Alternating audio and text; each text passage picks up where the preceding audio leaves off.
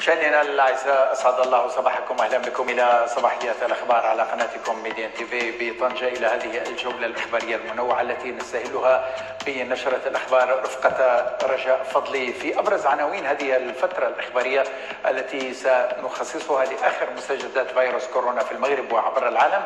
في المغرب 600 أو في المغرب 638 إصابة مؤكدة بفيروس كورونا إلى حدود الساعة الثامنة من صباح اليوم وذلك بعد الإعلان عن تسجيل 21 حالة إصابة مؤكدة جديدة وعدد الوفيات يصل إلى 36 حالة فيما تمثلت 10 حالات شفاء جديدة ليرتفع العدد الإجمالي للحالات التي تمثلت لشفاء إلى 24 حالة.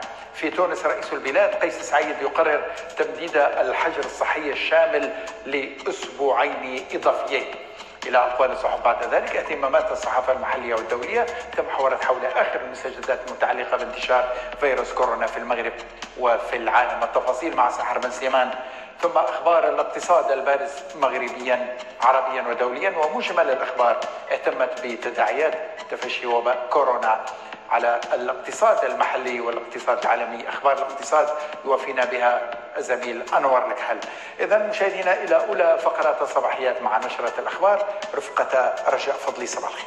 صباح الخير حسام وصباح الخير مشاهدينا في عناوين هذه النشرة.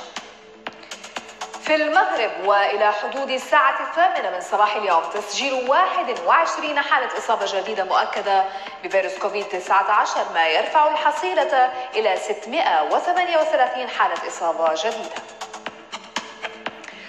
وفي سياق حالة الطوارئ الصحية إجراءات مشددة لمصالح الدرك الملكي من أجل منع حركة التنقل بين المدن من دون ترخيص. والرئيس التونسي قيس سعيد يقرر تمديد الحجر الصحي الشامل بالبلاد لأسبوعين إضافيين. إلى تفاصيل هذه النشرة حسام. نعم التفاصيل نبدأها من حيث بدأت في العناوين رجاء. في المغرب وإلى حدود الساعة الثامنة من صباح اليوم تم تسجيل 21 حالة إصابة مؤكدة جديدة بفيروس كورونا وبذلك ترتفع الحصيلة الإجمالية لحالات الإصابة المؤكدة بالمملكة إلى 638 حالة. في سياق متصل تم تسجيل ثلاث حالات وفاة جديدة ليصل العدد الإجمالي للوفيات إلى 36 حالة هذا أعلن مدير مديرية علم الأوبئة ومكافحة الأمراض بوزارة الصحة أعلن عن تسجيل عشر حالات شفاء جديدة ليرتفع العدد الإجمالي للحالات التي تمثلت للشفاء إلى 24 حالة وللكشف بشكل أسرع عن حالات الإصابة بكورونا فيروس في المغرب توسع وزارة الصحة شبكة المختبرات للكشف عن حالات الإصابة وقد أكد المسؤول بوزارة الصحة على اعتماد المغرب للتشخيص الدقيق. آه، فبطبيعة الحال وطبقا لتفعيل المخطط الوطني لليقظة والترصد والتصدي لكوفيد 19 فنحن سائرون في توسيع شبكة المختبرات التي تؤكد آه، بطبيعة الحال الحالات المرض حالات المرض. وبطبيعة الحال يجب التأكيد أننا في المرحلة الثانية لا زلنا نتوخى التشخيص الدقيق والتشخيص الدقيق يعني أنه يعتمد على أرقى ما كاين وعلى أدق ما كاين من وسائل التشخيص وهو التشخيص عبر اكتشاف الحمض النووي للفيروس. لهذا فإننا وسعنا شبكة المختبرات و سنقوم لاحقا باعتماد وسائل أخرى للتشخيص. قامت مراكز تصفية الدم بمدينة الدار البيضاء باتباع إجراءات صحية وقائية تفاديا لانتشار فيروس كورونا حيث تم تعقيم أرجاء المراكز وتخصيص غرف خاصة بالكشف الأولي كما تم توفير النقل لمرضى القصور الكلوي ومنع ذويهم من مرافقتهم حفاظا على سلامتهم. كما لا يتم استثناء المصابين بوباء كورونا من حصص العلاج الخاصة بتصفية الدم في المراكز الصحية حيث يتم التعامل معهم وفق شروط وقائية خاصة.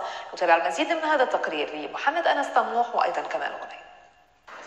على غرار المراكز الصحية التي تباشر تخصصات أخرى كتصفية الدم تم اتخاذ مجموعة من التدابير الوقائية لحماية ذوي القصور الكلوي من وباء كورونا المستجد حيث تم فرض إجراءات صحية من خلال الالتزام بشروط الوقاية وتعقيم المؤسسة وتخصيص حجرات خاصة للكشف الاستباقي لفيروس كورونا قبل البدء في حصص العلاج الخاص بتصفية الدم. كما لا يتم استثناء المصابين بالفيروس من حصص العلاج لكنهم يخضعون لتدابير خاصة لمنع العدوى. الالتزام ديال الطاقم الطبي والتمريضي بكل الوسائل الوقائية باش يكونوا في منأى أنهم يتصابوا بهذا المرض وهذا الوباء الخطير.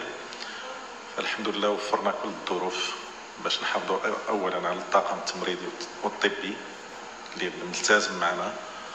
ثانيا اننا نحافظوا على المرضى لأن المرضى ما عندهم مناعة ضعيفة جدا. ثالثا أننا ما نخليهمش يبقاو في ديورهم لأن كاين مشكل ديال التنقل مشكل ديال وسائل النقل.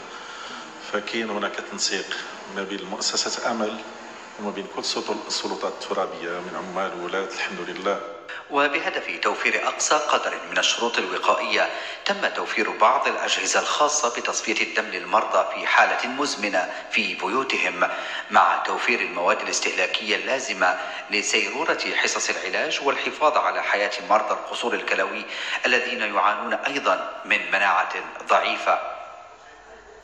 اللي بغيت نكد عليه أن جميع مراكز تصفيه الدم تبع جمعية الأمل آه، تركزوا على شروط السلامه تنحترموا آه، مسافة أدنى ديال المترو حتى جوج مترو بين آه، بين المريض والمريض وبين المريض والطبيب ولا الفرملي غسل اليدين بالماء والصابون كل ساعة والتهوية المستمرة.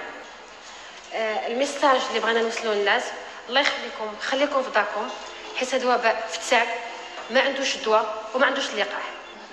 كنت كنجي بوحدي كنت كنجي مع الرفيق ديالي كان كيجي يعاوني ودابا مع هذا المرض ديال كورونا الاداره قالت لك ما تبقى معك حتى واحد ودير راسك. وملي كنجيو كيستقبلونا في الباب يعني كيقلبوك واش مصاب بهذا المرض هذا وكتطلع البلاصة ديالك كدير دياليز وكتمشي بحال تخرج بحالاتك. وللمزيد من إجراءات السلامة للحماية من الفيروس تم تخصيص سيارات خاصة معقمة لنقل مرضى القصور الكلوي إلى المركز الصحي. كما تم منع ذويهم ومرافقيهم من الحضور وكل هذا للتقليل من خطر انتشار وباء كورونا. وعلى المستوى الأمني إجراءات أمنية كثيرة تفرضها حالة الطوارئ الصحية في البلاد ولتقنين التنقل بين المدن. تسهر عناصر الدرك الملكي على تشديد المراقبة على مستوى السدود الأمنية والقضائية حيث لا يسمح بالتنقل إلا لمن يتوفرون على سند قانوني. نتابع هذا لعبد مولا بوخريس وفيصل أبروش. مشهد غير مألوف بمحطة الأداء بوزنيقة بالطريق السيار الرابط بين الدار البيضاء والرباط. حركة السير التي كانت لا تتوقف إلى عهد قريب صارت في أدنى مستوياتها بسبب تشديد إجراءات المراقبة المواكبة لحالة الطوارئ الصحية التي أعلنتها المملكة منذ مدة والتي تحد من التنقلات بين المدن وداخلها.